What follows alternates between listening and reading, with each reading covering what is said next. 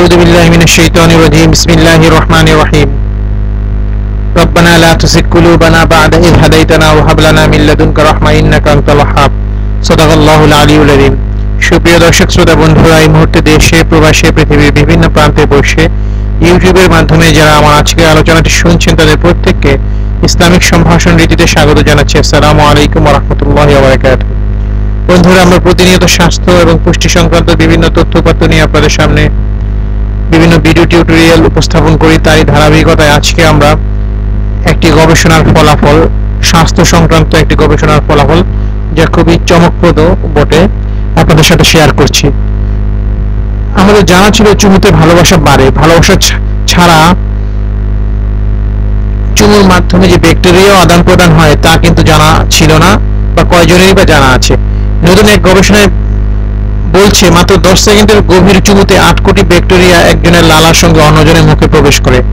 যে যুগল দিনে যতবার বেশি চুমু খায়, তাদের মুখের মধ্যে মাইক্রো ব্যাকটেরিয়ার তত বেশি মিল থাকে।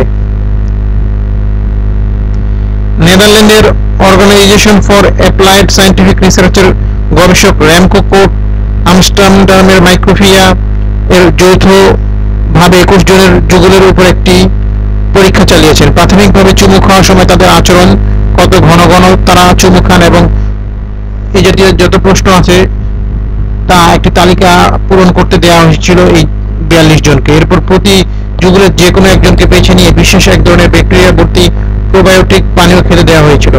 এরপর তাদের সঙ্গী বা সঙ্গিনীকে ঘন চুমু খেতে বলা হয়। একবারের ঘন চুমু, চুমুর পর দেখা গেছে যে যিনি ওই পানীয় খাননি তার মুখের লালার মধ্যে প্রোবায়োটিক ব্যাকটেরিয়া ক্ষতিকার নয় এমন ব্যাকটেরিয়ার সংখ্যা তিন গুণ বৃদ্ধি পেয়েছে।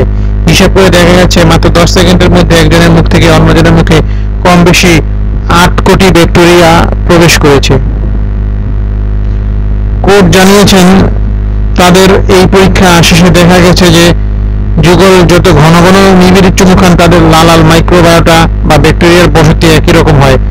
গড়ে দিনে অন্তত নয় বার চুমু খেলে মুখের মাইক্রোবায়োটা একই রকম হয়ে যায়। মানুষের শরীরের গড়ে একশো ট্রিলিয়ন উপকারী মাইক্রো অর্গানিজম রয়েছে। এই মাইক্রো অর্গানিজমগুলো খাবারের পাচন, পুষ্টি ও সংশ্লেষ ও রোগ প্রতিরোধে অপরিহার্য। মুখের মধ্যে কম বেশি সাতশো ধরনের ব্যাকটেরিয়া থাকে।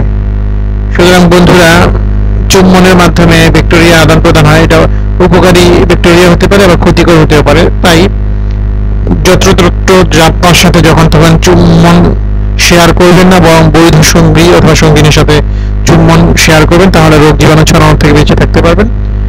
তো আজকে আমাদের আলোচনা এই পর্যন্ত। যদি আমাদের আলোচনাটি ভালো লাগে, তাহলে অবশ্যই শেয়ার করে দিবেন, যাতে আর অনেকে শুনে উপকৃত হয় এবং আমাদের চ্যানেলটি সাবস্ক্রাইব করবেন পরবর্তী টিপসগুলো জানার জন্য এবং আমাদেরকে লাইক দিবেন, কমেন্ট করবেন। এগুলোর মাধ্যমে আমরা উৎসাহিত হব।